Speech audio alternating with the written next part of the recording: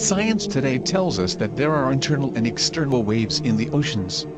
Internal waves are gravity waves that oscillate within a fluid medium, rather than on its surface, which are called the external waves. Science has recently discovered this in the 20th century. But this natural phenomena was mentioned 1400 years ago in the Quran. أو كظلمات في بحر اللج يغشاه موج من فوقه موج من فوقه سحاب This verse mentions that the deep waters of seas and oceans are covered by waves, and above these waves are other waves. It is clear that the second set of waves are the surface waves that we see, because the verse mentions that above the second waves there are clouds. The internal waves cover the deep waters of seas and oceans because the deep waters have a higher density than the waters above them.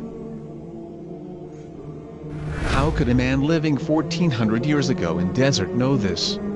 And why would he mention this? Where did this knowledge come from? Was he a scientist? Did he just guess?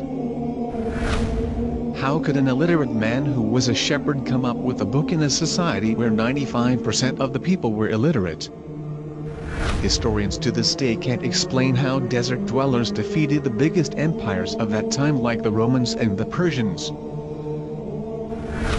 How come this man is still followed to this day by millions? How come the book he brought is memorized by millions by heart?